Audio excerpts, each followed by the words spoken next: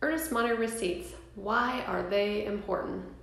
When you go into dotloop into your transaction, into the templates, you will see there is a placeholder for a copy of the earnest money check and a copy of the receipt.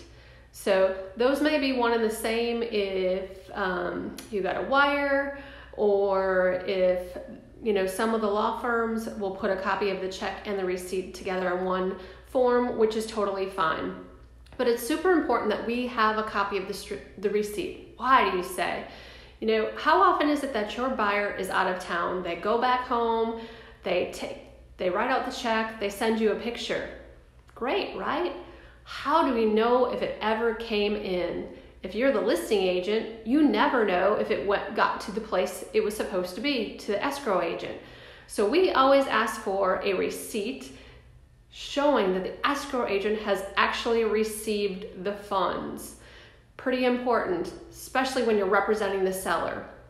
How would you like to make that call to your seller to say, gosh, the deal fell apart, and the seller says, okay, well, I'm gonna let them out, but I'm gonna I'm gonna keep their earnest money, or I'm gonna take their earnest money.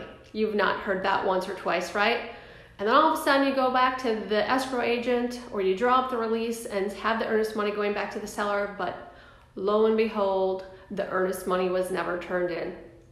That's a problem. That's not a great conversation to have with your seller.